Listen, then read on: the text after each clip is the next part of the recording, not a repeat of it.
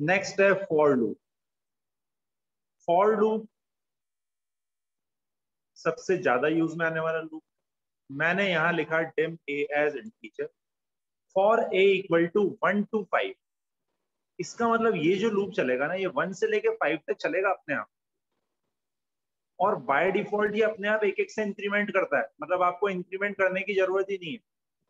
For a equal to one to five console dot write line a is a तो अपने आप one two three four five print होगा।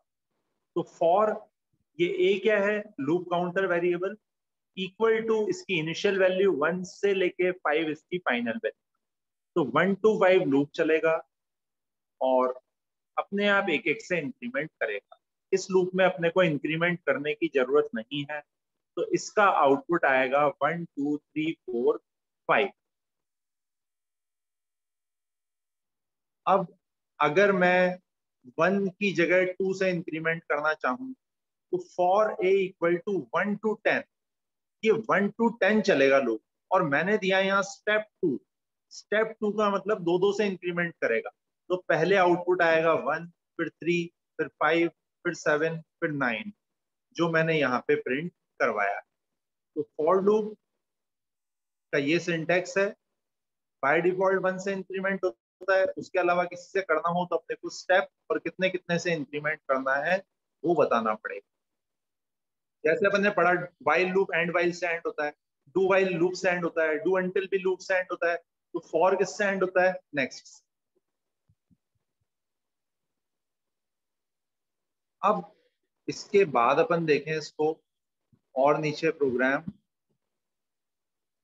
अब मुझे अगर रिवर्स लूप चलाना हो तो अपन कैसे चलाएँगे? For a equal to five to one अपन ने इनिशियल वैल्यू ज़्यादा दी है फाइनल वैल्यू कम दी स्टेप माइनस वन इसका मतलब एक एक से डिक्रीमेंट होगा। तो पहले ए की वैल्यू फाइव आएगी, फिर फोर फिर थ्री फिर टू फिर one five four three two one तो आपको इंक्रीमेंट डिक्रीमेंट लूप के अंदर करने की ज़रूरत नहीं है। अगर अपन स्टेप नहीं देते तो बाय डिफ़ॉल्ट एक एक से इंक्रीमेंट होता है। और अगर स्टेप दिया हुआ है तो जो अपन ने उसमें दिया है, उसके अकॉर्डिंग इंक्रीमेंट या डिक्रीमेंट होगा। अब अगर मैंने लिखा for a equal to one to ten तो ये वन से लेकर टेन तक लूप चलेगा और इसमें एक एक से इंक्रीमेंट होगा। लेकिन लूप के अंदर भी मैंने क्या कर दिया? A plus equal to one लिखा। तो सबसे पहले इसकी वैल्यू वन प्रिंट होगी। फिर ए में टू हो जाएगा। फिर वापस ऊपर जाएगा तो बाय डिफ़ॉल्ट एक से तो इंक्रीमेंट होता ही है तो ए में थ्री हो जाएगा। फिर लूप के अंदर मैंने इंक्रीमेंट किया हुआ है तो फोर हो गया। फिर ऊपर जाएगा तो फाइव हो जाएगा। तो अगर मैंने फॉर लूप के अंदर इंक्रीमेंट कर दिया तो जो डिफ़ॉल्ट इंक्रीमेंट होता है, वो तो अप्लाई होगा ही होगा। प्लस जो मैंने इंक्रीमेंट किया है, वो भी अप्लाई होगा। तो बाय डिफ़ॉल्ट एक एक से इंक्रीमेंट होता है, और एक एक से इंक्रीमेंट मैंने लूप के अंदर कर दिया। तो ये दो दो से इंक्रीमेंट होके क्या प्रिंट होगा? वन थ्री फाइव सेवन और नाइन अब नेक्स्ट के साथ में अपन यहाँ पे वेरिएबल का नाम लिख सकते हैं अपनी रेफरेंस के लिए। फॉर ए है तो यहाँ पे नेक्स्ट ए आ जाएगा। ये जनरली नेस्टेड लूप में काम में आता है। मान लो बाहर वाला लूप रो का है, अंदर वाला लूप कॉलम का है। तो जो अपन पहला नेक्स्ट लगाएँगे, उसके आगे कॉल लिखेंगे, दूसरे नेक्स्ट के आगे रो लिखेंगे जिससे जब अपन प्रोग्राम को पढ़ेंगे या कोई और प्रोग्राम को पढ़ेगा तो उसको देख ही समझ में आ जाएगा कि ये नेक्स्ट कौन से लूप का है रो वाले का है या कॉलम वाले का है। तो नेक्स्ट के बाद अपन अपनी, चाहे तो वेरिएबल का नाम लिख सकते हैं और नहीं लिखेंगे तो भी कोई प्रॉब्लम नहीं है। वो तो अप्लाई होगा ही होगा। और स्टेप में कुछ स्टेप दिया ही नहीं है तो एक एक से इंक्रीमेंट होगा। अगर आपने लूप के अंदर कोई इंक्रीमेंट किया है तो उस स्टेप के अलावा होगा ये आप लोगों को ध्यान रखना है। इसका मतलब ये है कि अगर मैं यहाँ पे दे दूँ स्टेप टू और अंदर भी दे दूँ a plus equal to one तो दो से इंक्रीमेंट तो इस जगह हो रहा है और एक से इस जगह हो रहा है तो ये तीन तीन से इंक्रीमेंट होगा।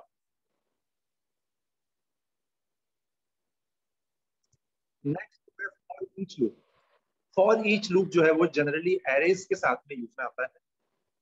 मैंने यहाँ पे एक एरे डिक्लेयर करी dim k as integer equal to और उसमें ये वैल्यूज़ दे दी।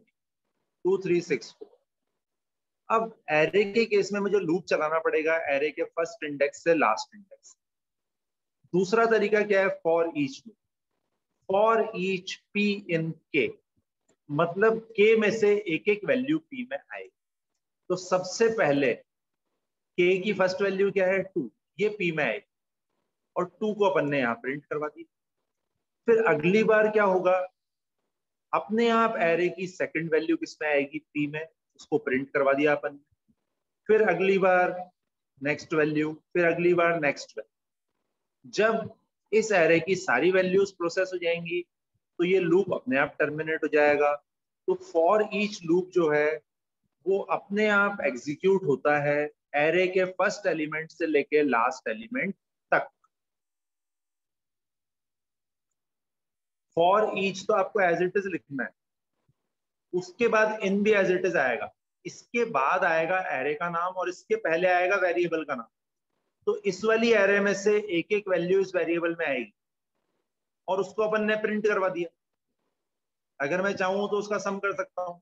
Sum equal to sum plus p तो जो भी आपको प्रोसेसिंग करनी है, वो कर सकते हो। तो फॉर ईच लिखना है, उसके बाद वेरिएबल का नाम, फिर इन कीवर्ड है और फिर एरे का नाम। और फॉर ईच लूप भी एंड किससे होता है? नेक्स्ट से।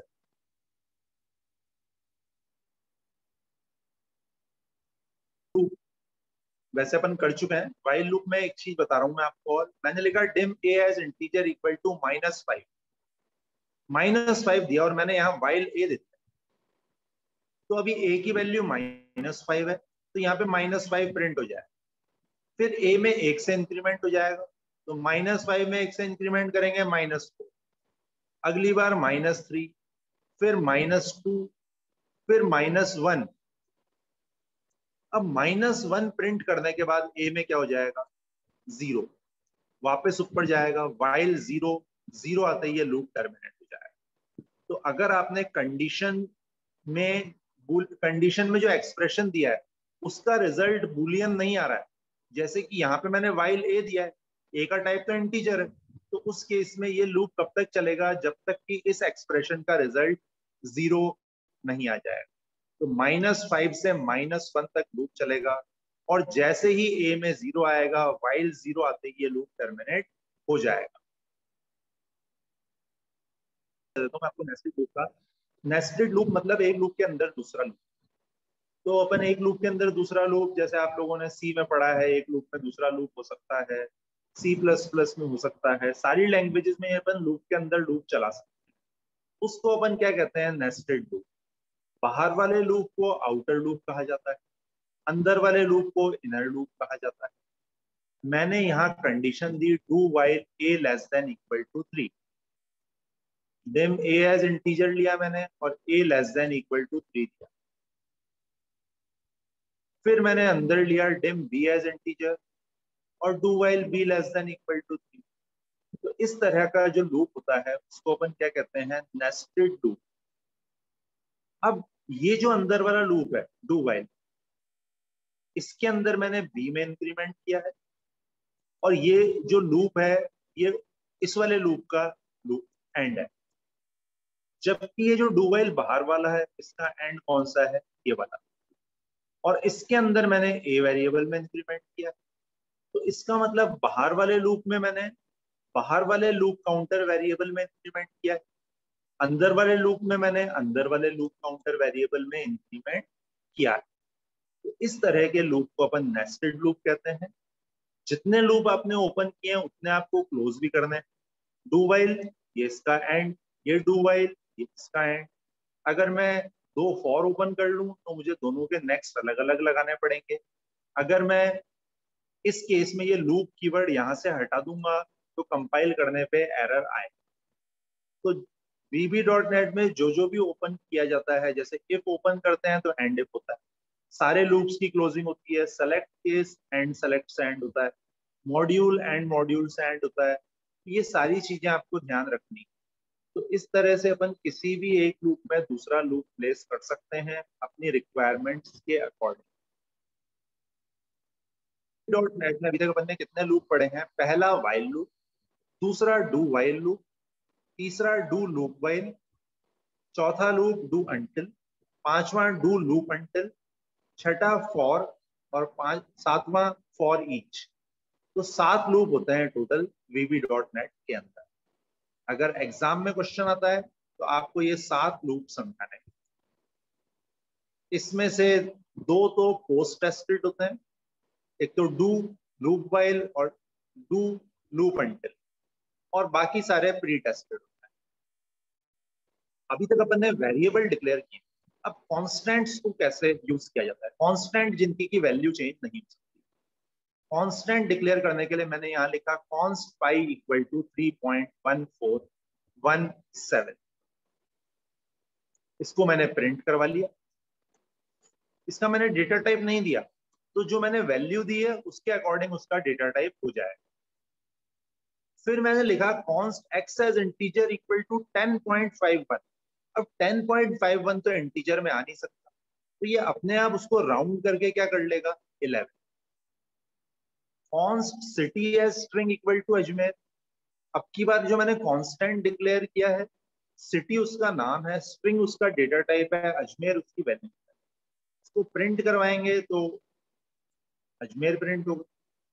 अब जो मैंने एक्स नाम का कांस्टेंट डिक्लेयर किया था, उसमें मैं अगर वैल्यू असाइन करने की कोशिश करूँगा, जैसे अभी तो मैंने इसको कमेंट बनाया, अगर मैं इसको वैल्यू असाइन करने की कोशिश करूँगा तो मैसेज आएगा compile time error constants cannot be the target of assignment. Const w equal to kite ये कांस्टेंट डिक्लेयर किया, इसका डेटा टाइप नहीं दिया तो इसमें काइट वैल्यू असाइन हो जाएगी। कांस्टेंट को डिक्लेयर करते हुए इनिशियल वैल्यू देना ज़रूरी है। मतलब अगर मैं ये इनिशियल वैल्यू नहीं दूँगा तो कंपाइल टाइम एरर आएगा। तो कॉन्स्ट स्टेटमेंट का यूज़ करके कांस्टेंट डिक्लेयर होते हैं। कांस्टेंट को इनिशलाइज करना कंपलसरी है। कांस्टेंट को इनिशलाइज करने के बाद आप उसको यूज़ कर सकते हो, लेकिन उसकी वैल्यू चेंज नहीं कर सकते।